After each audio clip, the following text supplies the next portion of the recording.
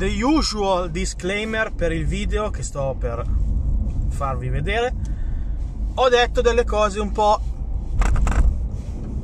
forti, forti sul Submariner, eh? Quindi siete avvisati, eh? Se siete deboli di cuore e non potete sopportare la verità, mia chiaramente, quando sentite che inizio a parlare di quello, skippate avanti, ok? Se no lo sentite e prendetene atto pensando, è la sua opinione e non la mia, ok? Per il resto video, video carino, a tratti emozionale, vi piacerà senza dubbio, ok? Ciao a tutti!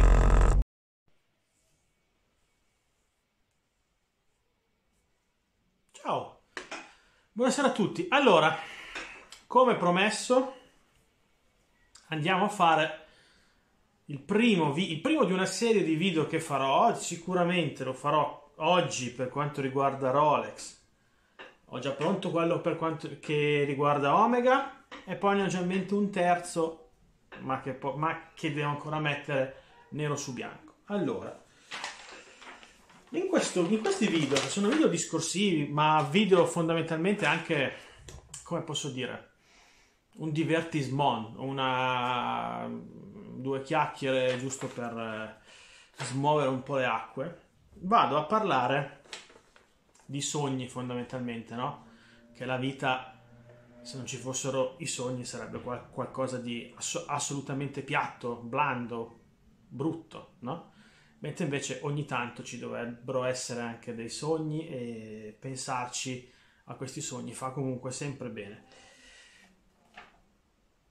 Ovviamente io feci uno dei primi video che feci eh, fu quello che ehm, con un titolo che adesso non, non, me lo ricordo benissimo, ma era del tipo ehm, perché non comprerò mai Rolex, no? Quindi mi ero autodato un embargo eh, per, eh, che riguardasse insomma che riguardasse la casa coronata no?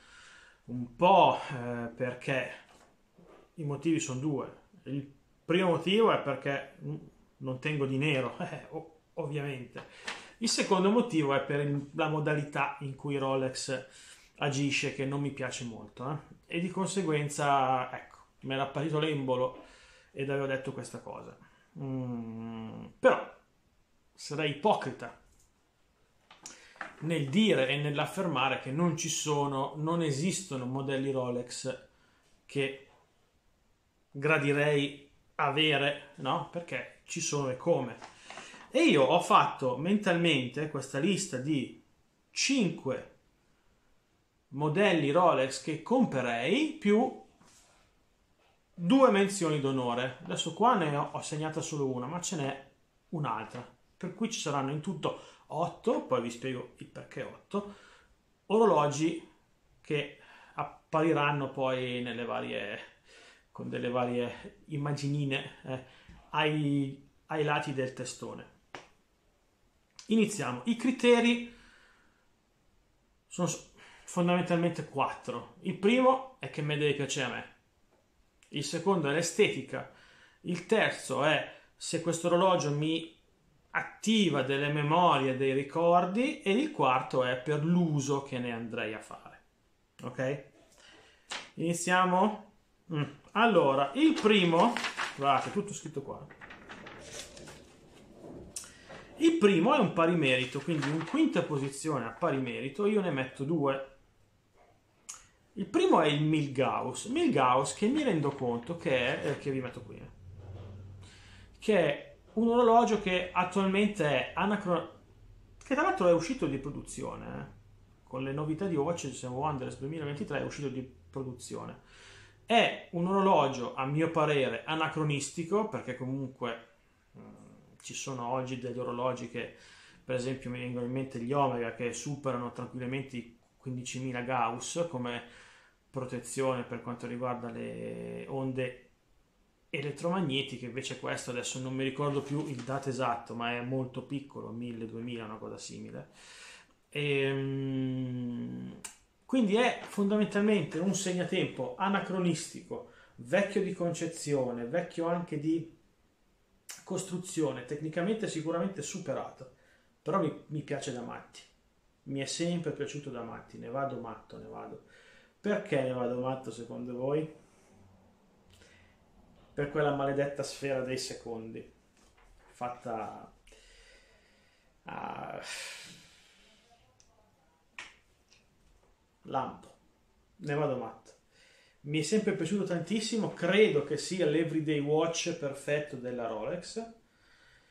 Sicuramente se io mai dovessi comprarlo lo comprerei e lo terrei su tutti i santi giorni perché mi piace da matti, secondo me ci sta bene come orologio da tutti i giorni e che posso scambiare anche tra occasioni formali e occasioni non formali. Perfetto tendenzialmente col quadrante nero perché mi piace di più trovo carina anche quella con il quadrante blu mm? la referenza qua molto probabilmente quella più diciamo che ho trovato più presente nei vari siti era 116 400 ora sulle referenze farò sicuramente dei pasticci non mi, non mi linciate eh? quindi quinta posizione a pari merito il Milgauss 116-400. Poi, a pari merito, c'è un orologio che eh, ancora oggi mi fa battere il cuore, perché è l'orologio che il mio amore tennistico, Roger Federer, amore tennistico degli ultimi vent'anni, perché prima c'è un prima, chiaramente, eh, Roger Federer ha indossato nella sua ultima apparizione, ossia quella del doppio in Lever Cup in cui c'erano lui e Nadal, famosissima quella foto che poi vi metterò qui, eh, con lui e Nadal che si tengono la mano, i due grandi rivali di sempre, un'immagine sportiva fantastica, contro quella bestia che è Tiafoe, che non sopporto, e Jack Sock. Ovviamente loro persero il doppio, ma non è quello, eh, quella fu la, eh, la, partita, una delle partite più importanti dell'anno scorso, no? Perché comunque dove King Roger decise di appendere la racchetta al chiodo, il, l'aftermath fu bellissimo, lui che piangeva, una cosa, io ho pianto come un bambino. In quell'occasione lì lui indossava l'Air King, l'ultimo Air King, ok, quello del 2022 referenza 126-900. Eh, insomma, averlo sarebbe tanta roba, perché comunque sarebbe il, l'orologio, eccolo qui, che ha segnato un milestone ben preciso, ossia l'ultima partita di King Roger, che magari non sarà quello che ha vinto più grande slam, ma è sicuramente uno dei migliori, per me, il miglior giocatore che ci sia stato sulla faccia della Terra, probabilmente assieme a Rod Lever come classe, una classe innata. E, e poi perché comunque fondamentalmente l'Air King è un po' come il Ringo Star eh, della Rolex, è The Ugly One, ma proprio per questo è quello secondo me più effettivo, quello che puoi più mettere, quello che è più mettibile, quello che è così forse brutto e non Rolex che me lo fa piacere ancora di più. Bellissimo, se lo cagano in pochi, ma per me è tantissima roba. Per cui questo è sicuramente uno degli orologi che andrei a comprare. Tra, tra l'altro non ha neanche un prezzo così abnorme, no? quindi potrebbe essere papabile insomma con qualche sacrificio, mettiamo così. Quindi i primi due fatti, quinto pari merito.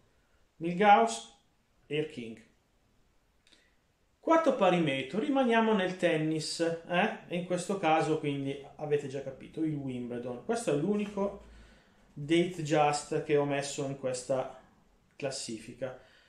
La referenza è 126.331 ed è lui, ed è quello acciaio e oro con la lunetta zigrinata ed il quadrante grigio. A me piace da matti, mi piace alla follia. Chiaramente il nome Wimbledon, anzi il nickname Wimbledon, per me evoca ricordi fantastici perché io sono stato giocatore negli anni 90 con forse un, un discreto futuro che non si è poi mai avverato e, e per me Wimbledon è sempre stato il, il palcoscenico principe del tennis. Io aspettavo solo eh, quel momento lì nell'anno. Sì, chiaramente c'erano gli US Open, Roland Garros, l'Australian Open, ma Wimbledon era Wimbledon. E il Wimbledon di quegli anni lo vincevano solo i grandi campioni, quelli che riuscivano a fare il serve and volley, quindi questo modo di giocare austero, elegante ed un po' sopra le righe, come è appunto questo Wimbledon. E se io mi immagino un futuro che non c'è stato, ossia cui magari diventavo famoso per il tennis, di sicuro avrei avuto questo quest, quest orologio in, e l'avrei indossato in tutti i country club, eh, i tennis club del mondo. Un, un, orologio che io adoro alla follia. Mm? Bellissimo. Ok. Terzo, il day date, che già di per sé come modello adoro, fantastico. Questi due modelli, Date Just e Date Date, sono secondo me la rappresentazione straordinaria di Rolex, perché comunque sono dei modelli semplici, dei modelli che hanno veramente iconici e che hanno fatto storia. In questo caso io sto parlando di un date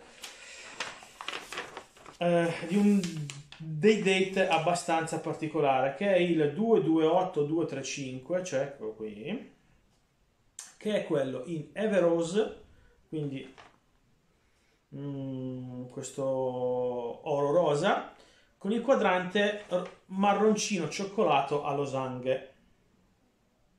Allora, è un orologio che io amo alla follia e io ho un pensiero fisso, no?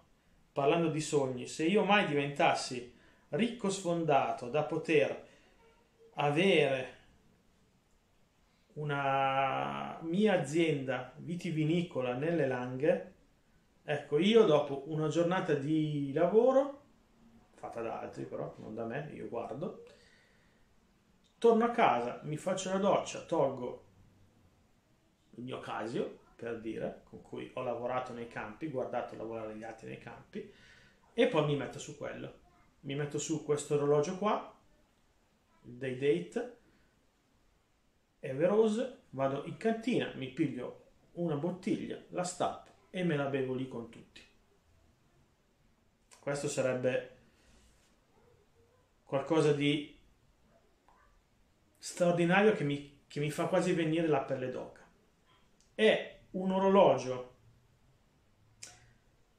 talmente too much, talmente troppo, talmente veramente posh all'ennesima potenza che ha un senso fantastico per me. Non ha un perché, ha solo un wow. È sta- straordinario, fantastico.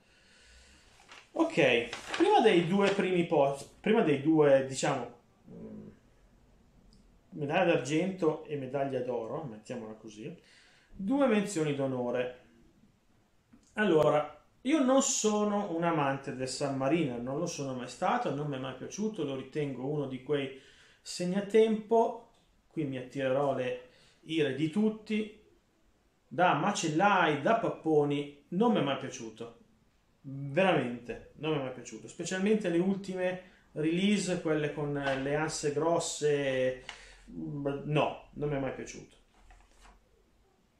Ritengo per esempio che ci siano dei diver altrettanto iconici, molto più belli per me, per esempio il Black Pen 50 Phantom, per dirne uno. Però ce n'è uno di Submariner che io adoro e ho sempre adorato alla follia e che, che secondo me è il top dei top ed è il 16610 LV, ossia quello con la lunetta verde. Come ho, come ho detto, io il Submariner lo odio all'ennesima potenza ma questo con quella lunetta lì, con quel punto di colore lì, è iconico, è straordinario e avessi due soldi sarebbe l'unico Submariner che comprerei. Mi piace da matti. Anche perché, secondo me, con quella lunetta lì gri- eh, sì, grigia, verde, va a stemperare un po' tutta quell'aura di ecco, c'ho il San Mariner, sono arrivato, sono giunto, giunto di che? Non lo so, ma con quella lunetta lì verde, secondo me, va a dire sì, mi sono comprato il San Mariner, ma mi, mi voglio distinguere da tutta la feccia che lo compra. Strong words, yes, I know, ma è quello che penso, ok? Altra menzione, menzione d'onore è, d'onore è un orologio nuovo che è appena stato eh, presentato a Watches and Wonder ed è l'Oyster Perpetual 1908, ossia quello, diciamo così, um, quello, diciamo così, il dress watch nuovo che ha fatto la Rolex, no? Ce ne sono di, mi sembra, quattro iterazioni diverse e io lo trovo un orologio esagerato, la migliore uscita che ha fatto Rolex in questo Watches and Wonder.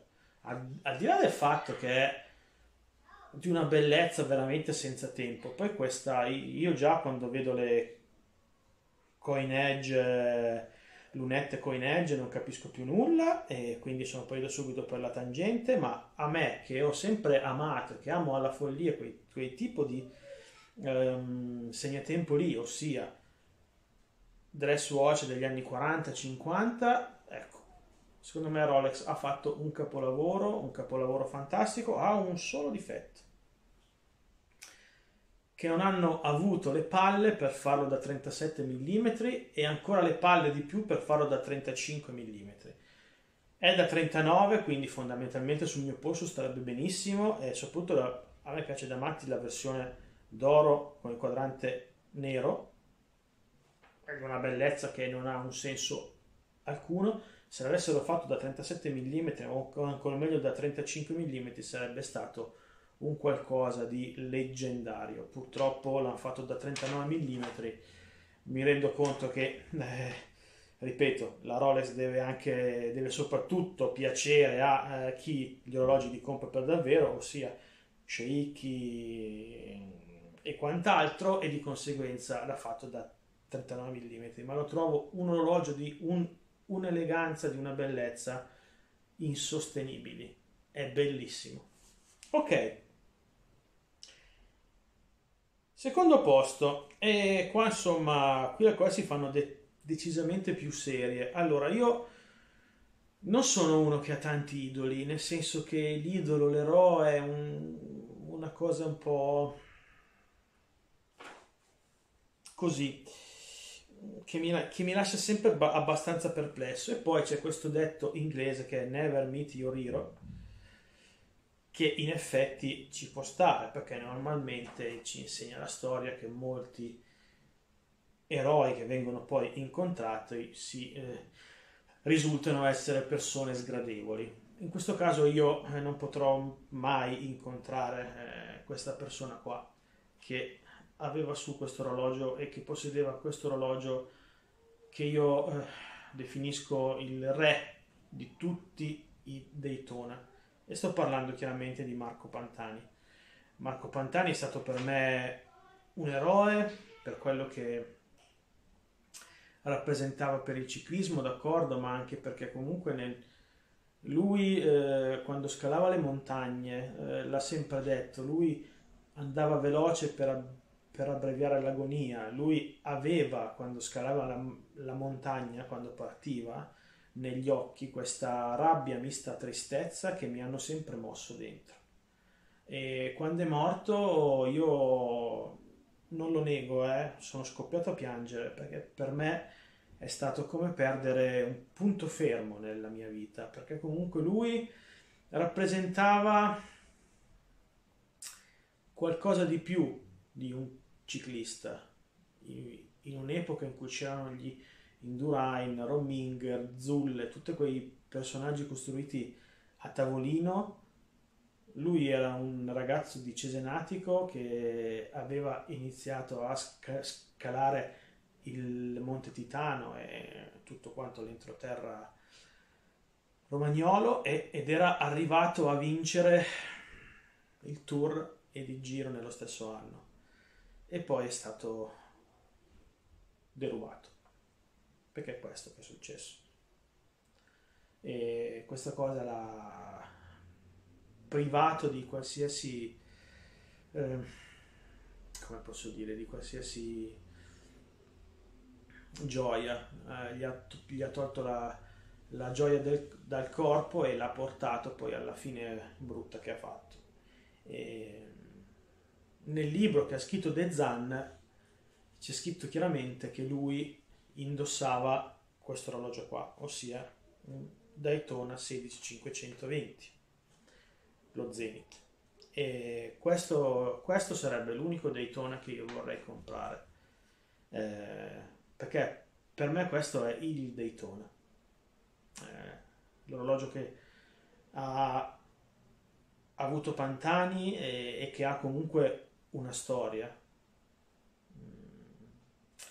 E quindi per me non, non ci sono altri commenti a, a me questo orologio, specialmente con il dial bianco, mi piace da matti e mi fa vivere emozioni sempre forti quando lo vedo.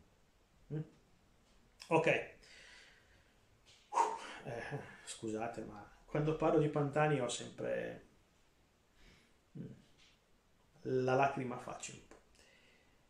Ok, posizione numero uno. Questo orologio qua è l'unico Rolex fra tutti che io comprerei, che potrei comprare e che potrei seriamente mettere tutti i santi giorni. Ed è l'Explorer 2. Mi piacciono molto quelli a 5 cifre, per esempio 16570. In quel caso lì mi piace molto la versione bianca, completamente bianca, non chicchi di riso, non niente, bianca, bianca, la trovo esagerata, fantastica. Per quanto riguarda invece quelle nuove, la 216 570, quella nera, quindi quella con il freccione. Perché mi piace questo orologio? Perché credo che sia il, l'unico Rolex che ha un senso dal punto di vista dell'indossabilità di tutti i giorni. È un Rolex da combattimento che ti starà sempre vicino, che non ti lascerà mai, perché è, è, è rugged, è netto, è brutale, è, è, grosso perché deve essere grosso e, e, perché deve essere così e deve essere anche robusto e, e questo è netto, preciso. E soprattutto, secondo me, il, il Rolex di chi ha deciso di comprarlo perché vuole averne solo uno e vuole avere quel, quell'orologio lì per sempre e non perché un Rolex perché di fatto lo è così è estremo quasi mm?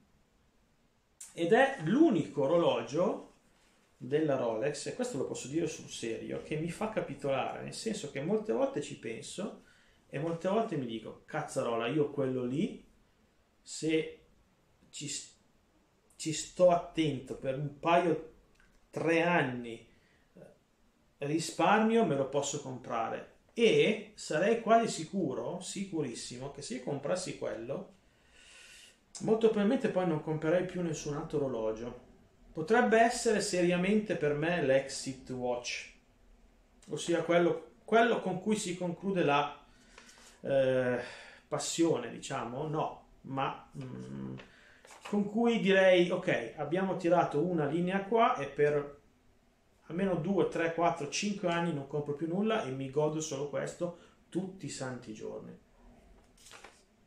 Tutti gli altri che vi ho detto no, sarebbero degli orologi, sì, magari il Milgauss, ecco o anche l'Air King. Però se li ho messi per ultimi c'è un perché, perché sono orologi che, ok, mi piacciono ma non mi attirano fino al punto da pensare veramente a comprarli. L'Explorer 2 sì, l'Explorer 2 mi ricorda, mi fa venire in mente eh, spedizioni, vite passate a portare quell'orologio lì e ad usarlo senza paura alcuna di rovinarlo o di toccarlo dentro. Mm, fantastico. E secondo me, lo dico, qui lo dico e qui lo nego, potrebbe essere veramente l'unico Rolex che io mi comprerei se ci avessi soldi e che metterei su volentieri tutti i santi giorni perché lo trovo veramente perfetto per me. Mm? Boh, direi che ho concluso. Uh, insomma, non è un video neanche lunghissimissimo. Adesso pian pianino me lo rivedo, faccio la revisione, metto le fotine, eccetera. Uh, quello che dovevo dire l'ho detto, sono, sono stato un po' strong, but true. Per quanto riguarda il Submariner, pace. E, e basta. Per cui questo sarà l'unico video di questa settimana. E boom. Come vi ho già detto, già pronto quello per gli Omega e poi ho intenzione di farne uno ancora sugli orologi che io veramente ritengo iconici. Non l'SKX, eh. l'SKX non è un orologio iconico, è un orologetto. No, gli orologi veramente iconici. Ok, boom. ciao a tutti.